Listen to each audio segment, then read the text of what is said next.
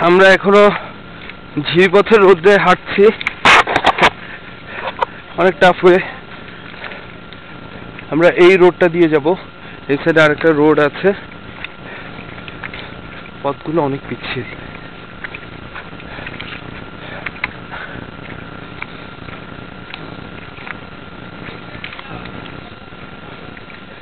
দেখুন, কি সুন্দর।